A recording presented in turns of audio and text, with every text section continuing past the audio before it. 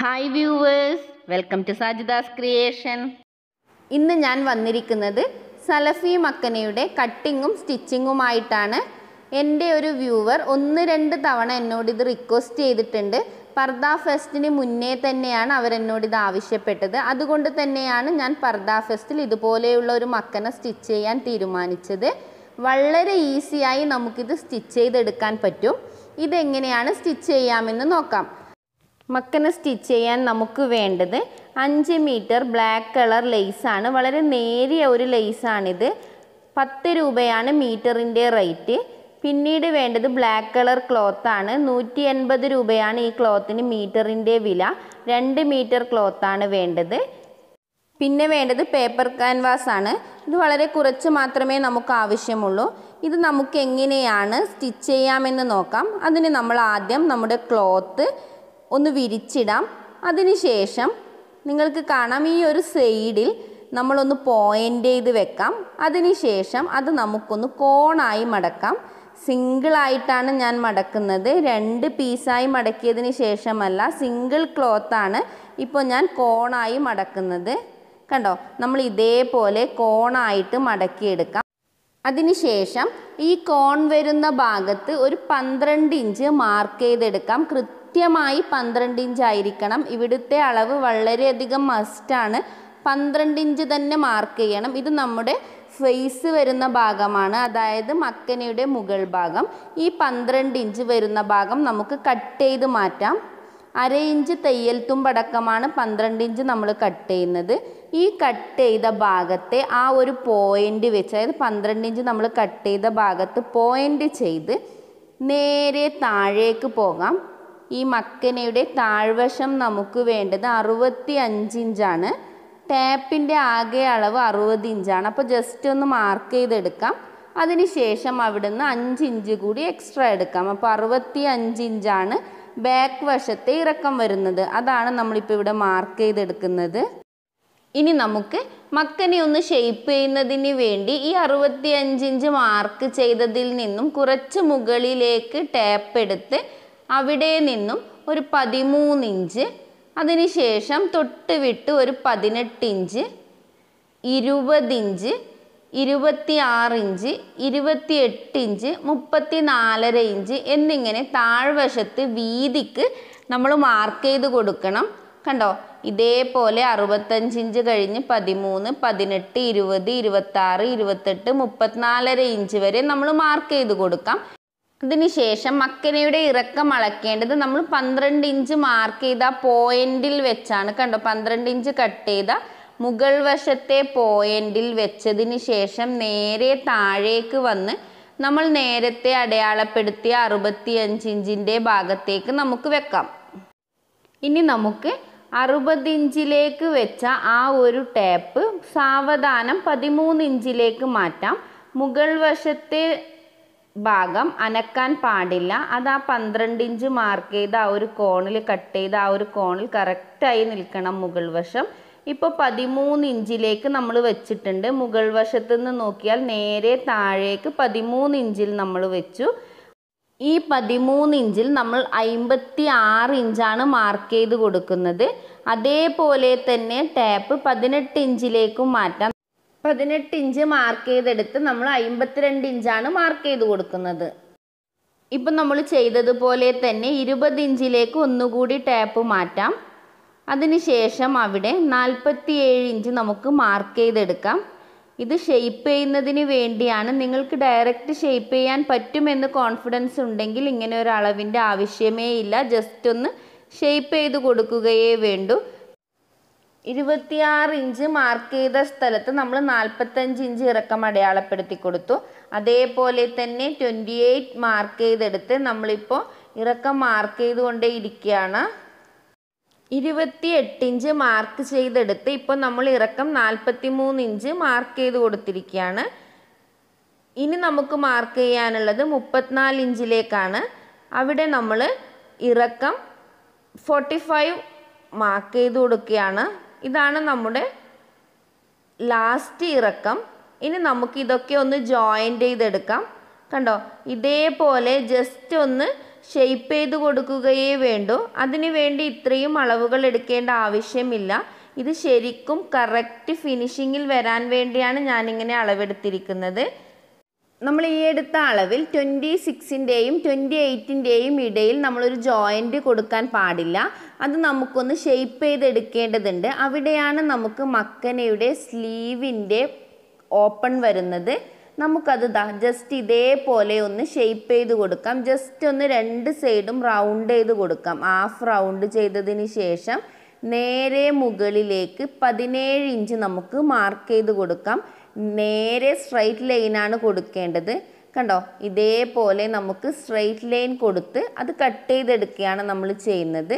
ഇനി നമുക്ക് ഈ വരച്ച പോയിന്റിലൂടെയൊക്കെ ഒന്ന് ക്ലോത്ത് കട്ട് ചെയ്തെടുക്കാം. ഇതേ അളവിൽ കട്ട് ചെയ്തെടുക്കുകയാണെങ്കിൽ കറക്റ്റ് നമ്മൾ റെഡിമെയ്ഡ് വാങ്ങുമ്പോൾ കിട്ടുന്ന അതേ ഫിനിഷിങ്ങിൽ തന്നെ നിങ്ങൾക്ക് സലഫി മക്കന കട്ട് ചെയ്യാൻ പറ്റും. കറക്റ്റ് അളവാണ് കറക്റ്റ് മെഷർമെന്റുമാണിത് ഈ അളവ് ഫോളോ ചെയ്ത് തന്നെ കട്ട് ചെയ്യുക ആ ഒരു സൈഡിൽ കേവ് ഒന്ന് ഷെയ്പ്പ് ചെയ്തതിന് ശേഷം നേരെ മുകളിലേക്ക് പോയി. അവിടെ കട്ട് ചെയ്ത് മാറ്റുകയൊന്നുമില്ല. ജസ്റ്റ് ഒന്ന് ഓപ്പൺ ചെയ്ത് കൊടുക്കുക മാത്രമേ ചെയ്യുന്നുള്ളൂ. അതിനുശേഷം മറ്റേ വശവും നമുക്ക് കേവ് ഷേപ്പ് കട്ട് ചെയ്ത് ഫിനിഷ് ചെയ്തെടുക്കാം. ഇതോടെ മക്കനയുടെ ബോഡി ഭാഗം നമ്മൾ കട്ട് ചെയ്ത് കഴിഞ്ഞു. കണ്ടോ? ഇതേപോലെയാണ് കട്ട് ചെയ്ത് ഫിനിഷിംഗ് ആയാൽ ഉണ്ടാവുക. നല്ല ഷേപ്പ് തന്നെ ലഭിച്ചിട്ടുണ്ട്. കണ്ട ഇവിടെ ഒരു ഓപ്പണിംഗ് ഒക്കെ കൊടുത്ത് കറക്റ്റ് അളവാണിത്. ഇനി നമുക്ക് ക്യാൻവാസ് എടുത്ത് കണ്ടോ ഇതേപോലെ ഒരു കൊക്ക് പോലെ കട്ട് ചെയ്തെടുക്കണം. ഇത് നമ്മുടെ ഫേസിന്റെ ഭാഗത്ത് വരുന്നതാണ്. സ്ക്വയർ ടേപ്പിൽ ക്യാൻവാസ് എടുത്ത് അതിങ്ങനെ കോണായി നമുക്ക് മടക്കാം. കണ്ടോ ഇതേപോലെ മടക്കിയതിന് ശേഷം ഒരു സൈഡ് വെച്ച് മടക്കിയതിന് ശേഷം നമുക്കത് ഒന്നുകൂടി ഫോൾഡ് ചെയ്തെടുക്കാം. കണ്ടോ ഇപ്പോൾ ഒരു ത്രികോണ ഷേപ്പിലാണ് ഇത് വന്നിട്ടുള്ളത്. ഇപ്പോൾ നിങ്ങൾക്ക് കാണാം ഒരു ഭാഗം മുഴുവനായും മടങ്ങിയ ഭാഗവും ഒരു സൈഡ് ജസ്റ്റ് ഒന്ന് ഓപ്പണിങ്ങുമാണ് കണ്ടോ ഈ ഓപ്പണിംഗ് ഉള്ള ഭാഗത്താണ് നമ്മൾ അളവെടുക്കുന്നത്. അവിടെ ഫസ്റ്റ് നമ്മൾ ഏഴ് ഇഞ്ച് മാർക്ക് ചെയ്തു. ഓപ്പൺ ഉള്ള ഭാഗത്താണ് ഏഴ് ഇഞ്ച് മാർക്ക് ചെയ്തത്. ഏഴ് ഇഞ്ച് മാർക്ക് ചെയ്തതിന് ശേഷം തൊട്ടപ്പുറമുള്ള മറ്റേ സൈഡിൽ നമുക്ക് മൂന്നര ഇഞ്ച് മാർക്ക് ചെയ്യാം.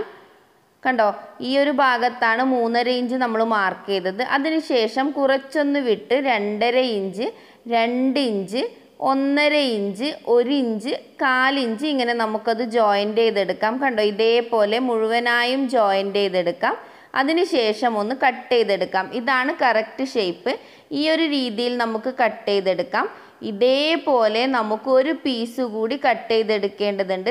താടിയുടെ ഭാഗത്താണ് ഈ പീസ് വരുന്നത്. ഇത് നമുക്ക് ഓപ്പണുള്ള ഭാഗത്ത് അഞ്ച് ഇഞ്ച് മാർക്ക് ചെയ്ത് കൊടുക്കാം. ഈ അളവും വളരെ കർശനമായി ശ്രദ്ധിച്ചെടുക്കണം. അഞ്ച് ഇഞ്ച് തന്നെ മാർക്ക് ചെയ്ത് കൊടുക്കാം. അതേപോലെ ഇറക്കം നമുക്ക് മൂന്ന് ഇഞ്ച് മാർക്ക് ചെയ്യാം. കണ്ടോ? മൂന്ന് ഇഞ്ച് മാർക്ക് ചെയ്തതിന് ശേഷം ഒന്ന് മൂവ് ചെയ്ത് രണ്ടര ഇഞ്ച് രണ്ട് ഇഞ്ച് ഒരു ഇഞ്ച് അങ്ങനെ നമുക്കിത് ജോയിന്റ് ചെയ്തെടുക്കാം. കണ്ടോ? ഒരു കോണ് പോലെ ജോയിന്റ് ചെയ്തതിന് ശേഷം നമുക്കിതും കട്ട് ചെയ്തെടുക്കാം. കട്ട് ചെയ്തതിന് ശേഷം ഇതേ അളവിൽ നമുക്ക് ക്ലോത്തും കട്ട് ചെയ്തെടുക്കാം. കണ്ടോ? നിങ്ങൾക്ക് ക്യാൻവാസ് ഇല്ലാതെ വേണമെങ്കിലും ഇത് സ്റ്റിച്ച് ചെയ്തെടുക്കാം. നമ്മൾ ഈ ക്യാൻവാസ് വെച്ച് കൊടുക്കുന്നത് കറക്റ്റ് അതിന്റെ പോയിന്റ് കിട്ടാൻ വേണ്ടിയിട്ടാണ്. ക്യാൻവാസും നമ്മൾ ക്ലോത്ത് കട്ട് ചെയ്തതും വെച്ച് ഒന്ന് അയൺ ചെയ്ത് കൊടുക്കാം. ക്യാൻവാസിന്റെ ഒരു സൈഡിൽ നല്ല ഷെയ്നിങ് ഉണ്ടാകും. ആ ഭാഗം ക്ലോത്തിന്റെ മുകളിൽ വെച്ച് നമുക്കിതൊന്ന് അയൺ ചെയ്തെടുക്കാം. കണ്ടോ ക്ലോത്തിന്റെ മുകളിലാണ് അയൺ ചെയ്യേണ്ടത്. അതിനുശേഷം നമുക്കിത് നീളത്തിൽ രണ്ടായി മടക്കാം. കണ്ടോ ഇതേപോലെ മടക്കിയതിന് ശേഷം ഇതിന്റെ സൈഡ് ഒന്ന് സ്റ്റിച്ച് ചെയ്ത് കൊടുക്കാം. രണ്ട് പീസും ഇതേപോലെ സ്റ്റിച്ച് ചെയ്തെടുക്കാം. ഞാനിവിടെ സിഗ്സാഗ് സ്റ്റിച്ചാണ് ചെയ്തിരിക്കുന്നത്. രണ്ടും നമ്മൾ സ്റ്റിച്ച് ചെയ്തെടുത്തു. ഇനി നമുക്ക് മക്കനയുടെ പന്ത്രണ്ട് ഇഞ്ച് നമ്മൾ കട്ട് ചെയ്ത ഭാഗം എടുക്കുക. അതിന്റെ കറക്റ്റ് സെന്റർ പോയിന്റ് എടുക്കാം. അതൊന്ന് ഓപ്പൺ ചെയ്തതിന് ശേഷം കറക്റ്റ് സെന്റർ പോയിന്റ് എടുക്കാം. ഓരോ സൈഡിലും പന്ത്രണ്ട് ഇഞ്ചാണ് നമ്മളിപ്പോൾ ഉള്ളത്. ഇനി നമുക്ക് ഈ നേരത്തെ കട്ട് ചെയ്ത് ക്യാൻവാസിൽ സ്റ്റിച്ച് ചെയ്തെടുത്ത ആ ഒരു പീസും എടുത്ത് അതിന്റെ സെന്റർ പോയിന്റും മാർക്ക് ചെയ്തെടുക്കാം. കണ്ടോ? ഇപ്പോൾ ക്ലോത്തിന്റെയും ആ ഒരു പീസിന്റെയും സെന്റർ പോയിന്റ് നമ്മൾ മാർക്ക് ചെയ്തു. അതിനുശേഷം ഈ രണ്ട് സെന്റർ പോയിന്റും ഒരേപോലെ വെച്ച് ജസ്റ്റ് ഒന്ന് മൂവ് ചെയ്ത് മൂവ് ചെയ്ത് സ്റ്റിച്ച് ചെയ്തെടുക്കാം. സെന്റർ പോയിന്റിൽ നിന്നും വേണം സ്റ്റിച്ചിങ് സ്റ്റാർട്ട് ചെയ്യാൻ വേണ്ടി. ഒരിക്കലും എൻഡിൽ നിന്നും നമ്മൾ സ്റ്റിച്ച് ചെയ്യാൻ പാടില്ല. അപ്പോൾ കറക്റ്റ് മെഷർമെന്റ് കിട്ടില്ല. ഈ രീതിയിൽ ചെയ്താൽ കറക്റ്റായി നമുക്കിത് നിൽക്കും. കണ്ടോ? ഇതിപ്പോൾ കറക്റ്റായി നമുക്ക് ലഭിച്ചിട്ടുണ്ട്. നിങ്ങൾക്ക് കാണാം നമ്മുടെ ഫേസിന്റെ മുകൾ ഭാഗമാണ് ഇപ്പോൾ നമുക്ക് കിട്ടിയിരിക്കുന്നത്. നല്ല ഫിനിഷിങ്ങിൽ തന്നെ ഇത് ലഭിച്ചിട്ടുണ്ട്. ഇനി നമുക്ക് ഓപ്പൺ ആയിട്ടുള്ള ആ ഒരു സൈഡ് ജോയിന്റ് ചെയ്തെടുക്കാം. കണ്ട? മക്കനയുടെ ഒരു സൈഡ് നമ്മളിപ്പോൾ ജോയിന്റ് ചെയ്തെടുക്കുകയാണ്. അര ഇഞ്ച് മാത്രമേ സ്റ്റിച്ചിങ്ങിന് വേണ്ടി നമ്മൾ ഉപയോഗിക്കാൻ പാടുള്ളൂ. നമുക്ക് കറക്റ്റ് സ്റ്റിച്ച് ചെയ്ത് കഴിഞ്ഞാൽ പതിനൊന്നര ഇഞ്ച് വേണം. അതാണ് കറക്റ്റ് മക്കനയുടെ ഫേസ് അളവ്. കണ്ടോ? നമ്മൾ ആ സൈഡ് ഇപ്പോൾ സ്റ്റിച്ച് ചെയ്തെടുത്തിരിക്കുകയാണ്. നിങ്ങൾ ഇത് സ്റ്റിച്ച് ചെയ്തതിന് ശേഷം ഒന്ന് യൂസ് ചെയ്ത് നോക്കാം. കാരണം എന്തെങ്കിലും അളവ് മിസ്റ്റേക്ക് ഉണ്ടെങ്കിൽ നിങ്ങൾക്ക് ഈ ഒരു സമയത്ത് കറക്റ്റ് ചെയ്യാൻ പറ്റും. ഇപ്പോൾ നമ്മളത് ജോയിന്റ് ചെയ്തെടുത്തിട്ടുണ്ട്. ഇനി നമുക്ക് താഴ്വശത്ത് കൂടി അതേപോലെ ക്യാൻവാസ് വെച്ച പീസ് വെക്കേണ്ടതുണ്ട്. മുകൾ ഭാഗത്ത് നമ്മൾ ആ പീസ് കറക്റ്റ് വെച്ച് കഴിഞ്ഞു. ഇതും അതേപോലെ നേരത്തെ ചെയ്തതുപോലെ രണ്ടിന്റെയും സെന്റർ ഭാഗം കണ്ടെത്താം. അഞ്ച് ഇഞ്ചിന്റെ പീസാണ് താഴ്ഭാഗത്ത് വെക്കുന്നത്. മുകൾ വശത്ത് ഏഴിഞ്ചിന്റെ പീസാണ് നമ്മൾ നേരത്തെ വെച്ച് കൊടുത്തിരിക്കുന്നത്. കണ്ടോ? ഈ അഞ്ച് ഇഞ്ചിന്റെ പീസിന്റെയും കറക്റ്റ് സെന്റർ പോയിന്റ് കണ്ടുപിടിക്കാം. അതേപോലെ തന്നെ മക്കനയുടെയും സെന്റർ പോയിന്റ് കണ്ടുപിടിച്ചതിന് ശേഷം നമുക്കിത് രണ്ടും ഒരേപോലെ വെച്ച് നേരത്തെ പറഞ്ഞതുപോലെ സെന്റർ പോയിന്റിൽ നിന്നും ഒരു സൈഡിലേക്ക് സ്റ്റിച്ച് ചെയ്തെടുക്കാം. സ്റ്റിച്ച് ചെയ്ത് ലാസ്റ്റ് നമ്മൾ നേരത്തെ ഏഴ് ഇഞ്ച് സ്റ്റിച്ച് ചെയ്ത ആ ഒരു പീസിന്റെ മുകൾ വശത്താണ് ജോയിന്റ് ആവുക.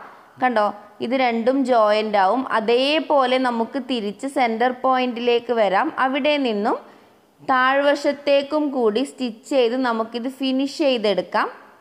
കണ്ടോ? ഇതിപ്പോൾ കറക്റ്റ് ഫിനിഷിങ്ങിൽ വന്നിട്ടുണ്ട്. ഇതേ അളവ് ഫോളോ ചെയ്യുകയാണെങ്കിൽ കറക്റ്റ് നിങ്ങൾക്ക് ലഭിക്കും. ഇനി നമുക്ക് ചെയ്യാനുള്ളത് ഇതിന്റെ താഴ്വശം ഒന്ന് മടക്കി സ്റ്റിച്ച് ചെയ്യുകയാണ്. ഒരു അര ഇഞ്ച് ഉള്ളിലേക്ക് മടക്കിയത് നല്ല വശത്തേക്ക് മടക്കി ഒന്ന് ജസ്റ്റ് സ്റ്റിച്ച് ചെയ്ത് കൊടുക്കാം. അതിനുശേഷം അതിന് മുകളിൽ നമുക്ക് ഇതേപോലെയുള്ള ലെയ്സ് വാങ്ങി അതൊന്ന് വെച്ച് സ്റ്റിച്ച് ചെയ്ത് കൊടുക്കാം.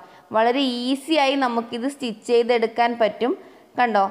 നമ്മുടെ ഓപ്പണിംഗ് ഉള്ള ഭാഗത്തും ഒക്കെ വെച്ച് നമുക്ക് മുഴുവനായും ഒന്ന് റൗണ്ട് ചെയ്തെടുക്കാം. കണ്ടോ നമ്മുടെ സലഫി മക്കനയുടെ കട്ടിങ്ങും സ്റ്റിച്ചിങ്ങും പൂർത്തിയായി കഴിഞ്ഞു. വളരെ ഈസിയാണ് എല്ലാവരും ഒന്ന് ട്രൈ ചെയ്ത് നോക്കാം. ഒത്തിരി അളവുകൾ കണ്ട് ടെൻഷൻ അടിക്കുകയൊന്നും വേണ്ട. ജസ്റ്റ് ഒന്ന് മാർക്ക് ചെയ്ത് പോവുകയേ വേണ്ടൂ.